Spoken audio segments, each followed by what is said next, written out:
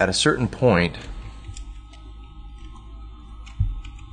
you're going to want to work some texture back into there.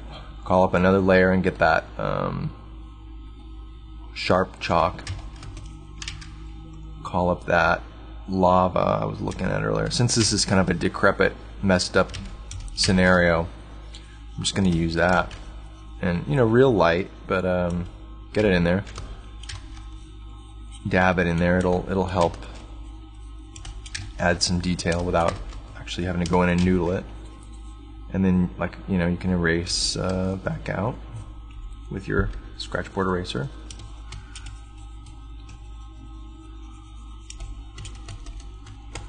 Drawing, okay. Okay, let's rim light this ship. New layer. Select the color, the local color of the, of the um, helicopter, and go to a lighter. You, know, you call up another layer, and it's rim lit. So you're just gonna start to, you know, rim light it. Paint paint a lighter rim on the uh, on all the surfaces. And you can be messy because it's on a layer and you can come back in and erase out, right?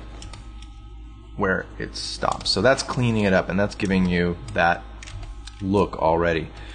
Um, using the scratchboard tool at a very low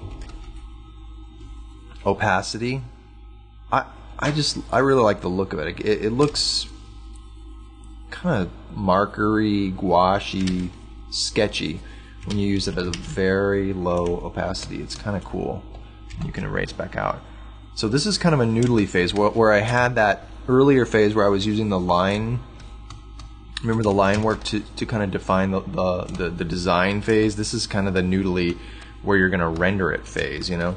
And that's what you're doing. You're just that low opacity uh, scratchboard tool. You're going to go in and, you know, when you're doing an illustration, you, you're painting light. You know, that's the way I started out my other DVDs, which were, um, you know, all about this kind of start with the lights off and then turn the lights on thing.